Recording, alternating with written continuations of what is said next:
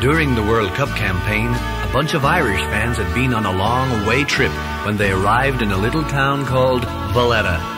The next morning, several of the boys went to the team's training session. The manager was in charge of the session, and after it, those fans who had match programs took them out and got them signed by the players.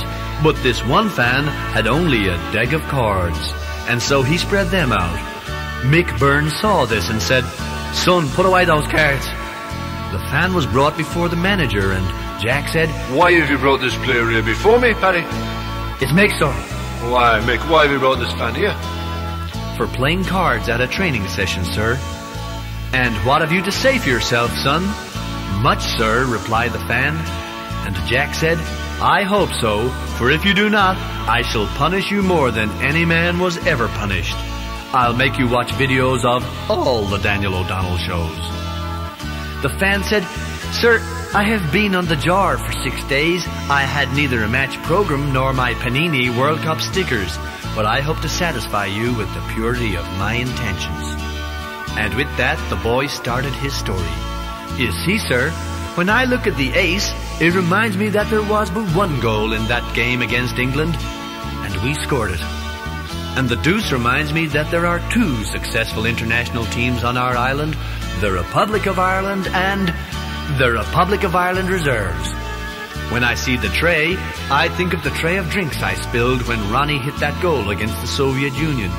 The tray also reminds me of the three towns in which we played our matches in Germany. There was Staggered, Hangover, and Belchenburpen. When I see the four, I think of the four green fields on which soccer is played. Dalymount, Tolka, Lansdowne, and the fourth one we lost to strangers, Milltown. When I see the five, I think of the five fingers on my own hand, which makes me think of the manager before Jack. When I see the six, it reminds me that it only took us six minutes to score against England. The six also reminds me of number six, Liam Brady.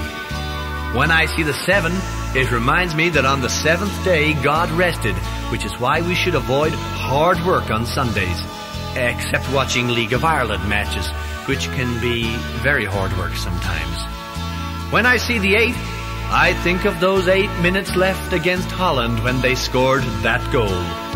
The nine reminds me of the number of yards it was offside by.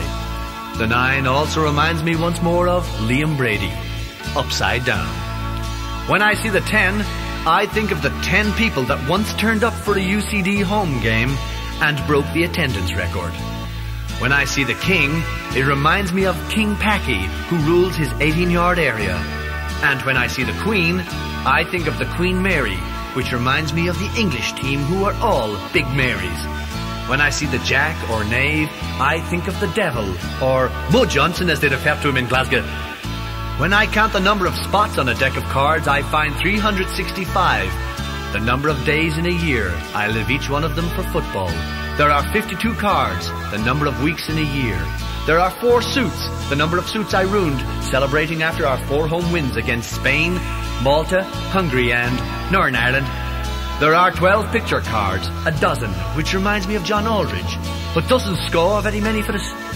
12 is the number of pounds on the face value of a stand ticket, and there are 13 tricks. You'd need to know them all to get your hands on one. So you see, sir, my pack of cards serves me as a match program, an FAI yearbook, and a shoot annual. And friends, the story is true. I know I was that soldier.